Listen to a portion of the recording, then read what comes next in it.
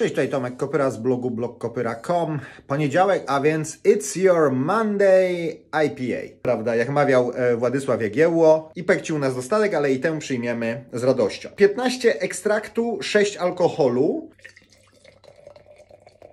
Jasne, słomkowe, takie można powiedzieć witbirowe, drobnopęcherzykowa piana, ale jakieś białe owoce. 15 gramów na litr to w dzisiejszych czasach już nie jest dużo. Kiedyś było bardzo dużo. Teraz się nawet 30 gramów na litr daje tego chmielenia na zimno. Ale powiem szczerze, nie widać różnicy. Bucha chmielem, bucha. Bucha chmielem w aromacie, bucha w smaku. Jest też goryczka, może nie jakaś bardzo wysoka, ale jednak jest. Bardzo pijalne. Pewnie będzie hicior. Także y, powiem Wam, na poniedziałek Ipka naprawdę, naprawdę zacna. Wasze zdrowie.